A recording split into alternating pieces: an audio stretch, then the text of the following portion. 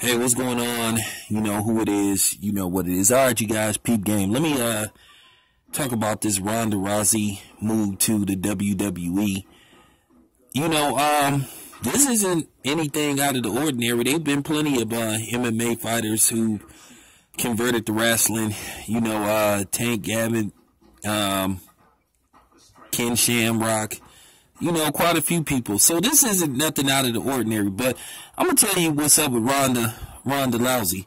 Ronda Rousey is mentally shaken. She's mentally broken. She doesn't have any confidence in herself. And that's pretty much the bottom line. And I can tell you another reason why she's going to the WWE. She is thinking about what happened with Dwayne The Rock Johnson.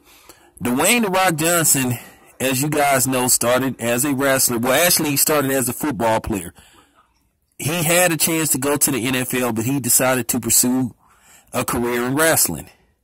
Now, I'm I'm not going to get in deep about The Rock personal background, but at the end of the day, it worked out for him. The Rock is now one of the highest paid actors in Hollywood, and his movies are kicking ass at the box office. Uh, the sequel to Jumanji, Jumanji excuse me, has grossed, I think, over $300 million at the box office. It's a smash hit.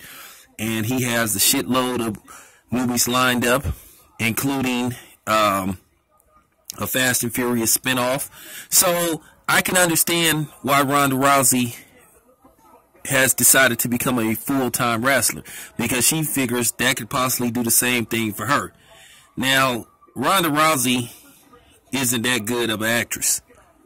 I'm just going to be completely honest.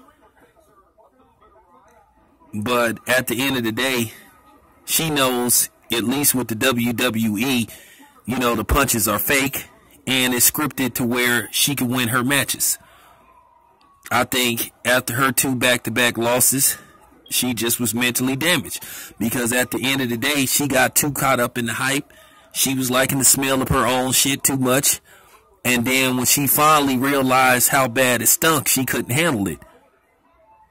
You know, there were rumors that she was suicidal and a whole bunch of other shit going on outside of, uh, you know, the octagon. So, as far as her going to the WWE, hey, that's a good move for her. Because as I said before, we already know the WWE is scripted. You know what I'm saying? Just like the NFL. So, I think Ronda Rousey will be fine. Uh, I hope it works out for her. You know what I'm saying? Um, I didn't, you know what I'm saying? I'm not even tripping off the shit what happened with Ronda Rousey in the past because I already knew Ronda Rousey was full of shit. And she got pumped up by the media to actually believe that she would have a chance of beating up Floyd and all that type of shit. And, you know, like I said, it backfired on her. She couldn't even handle Holly Holm.